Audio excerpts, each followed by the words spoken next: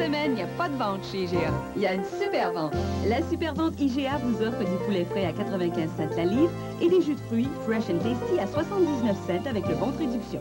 Avec les aubaines de sa super vente, IGA nous simplifie la vie.